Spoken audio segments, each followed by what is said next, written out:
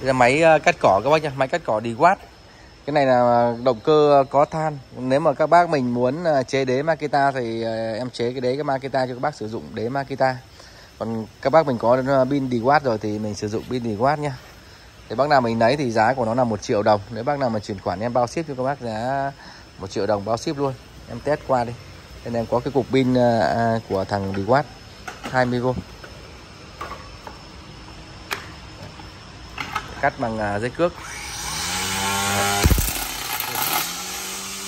Cái cái à, cái cước của nó dài.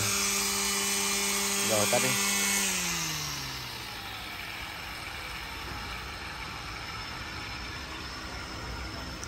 Cái à, cái này thì là cái cước mà nó dài quá. Thì nó sẽ, nó có cái thanh sắt ở đây này. Đây.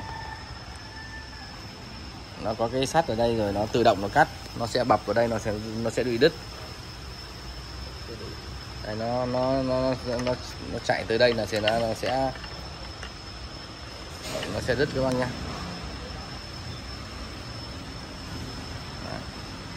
đây là cái sắt cái lưỡi.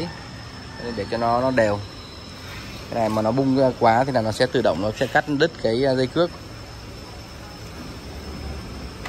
Thì à, cái cần này là cần thẳng nó dễ sử dụng các bác nha thì các, các bác mình muốn à, uh, chế đế thì mình sử dụng đế Makita còn các bác mình đã có pin rồi thì mình sử dụng ờ, pin của Dewat cái ờ, cái này là hàng ờ, của Mỹ các bác nhá Đấy, Dewat là hàng Mỹ. Cái này mà nhập từ Mỹ về luôn chứ không phải là nhập từ Trung Quốc hay là nhập từ Việt Nam mình đâu. Hàng nội địa đã qua sử dụng.